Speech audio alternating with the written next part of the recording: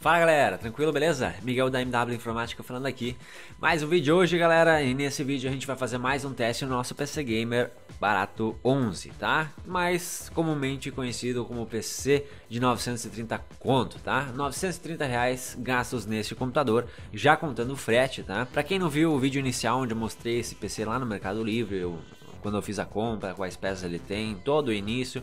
Para quem não viu o teste no Fortnite também desse computador, que já tem teste aqui nesse game aí aqui no canal, tá? Eu vou deixar os dois links na descrição deste vídeo. Para quem tá chegando agora nesse vídeo e não conhece o canal ainda, tá? Eu já peço para deixar o seu like aí, se inscrever, porque eu tenho certeza absoluta que tu vai gostar muito do conteúdo aqui, tá? Se tu gosta de gastar pouco, montar um PC gamer show de bola, baratinho, que vai te deixar muito feliz rodando teus games, para dar aquela curtida no final de semana ou depois de serviço, de noite. Esse é o canal certo, rapaz. Se inscreve aí, se inscreve Vamos, rever de novo as peças desse computador aqui, tá galera? Enquanto isso eu passo algumas imagens desse computador para vocês, tá? O processador é um i5-3570K 4 núcleos e 4 threads que operam a 3.4 GHz na sua frequência base. Lembrando que ele é desbloqueado para overclock, então quem quiser botar lá um 3.8 GHz, 4 GHz e tal, pode botar. Assim vai dar muito mais desempenho, tá? A nossa placa-mãe é uma placa-mãe da Gigabyte, um chipset B75, a gente tem dois PCIs Express, possibilitando fazer um Crossfire ou SLI. A placa-mãe possui 4 slots de memória, a gente tem um upgrade total aí até 32 GB.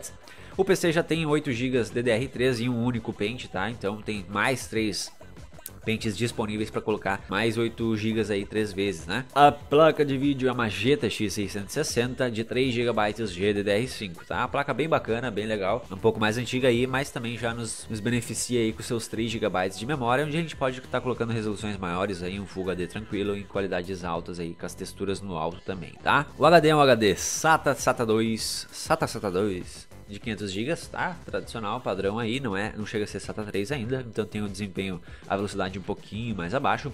A fonte que a gente tem é uma fonte da EVGA de 500 watts, 80 plus, todo garantido aí na sua segurança, tá? E o gabinete é um gabinete Vinic, que o modelo eu nem sei ao certo, tá? Mas vocês estão vendo aí nas fotos aí, um espaço interno muito bom aí, dá pra organizar legal as coisas, tá? Já veio também esse PC com um drive de DVD, que é muito importante hoje em dia, que não pode faltar, né, galera? Isso aí já Tá louco? Se não tem isso aí, não tem vida. Nada ver, meu. Então, isso aí, esse é o PC. Vamos fazer o teste hoje em que game? Vamos testar no PUBG, no PUBG, PUBG. PUBG. Beleza, vamos testar então resoluções menores aí, 768p e também Full HD, qualidade alta, qualidade baixa. Então vou deixar rodando pra vocês aí, espero muito que vocês gostem. Muito obrigado por ter assistido até aqui, tá? Um grande abraço pra vocês. Ah, outra coisa. Siga MW Informática no Instagram, curte a nossa página no Facebook, os links também estão aqui na descrição.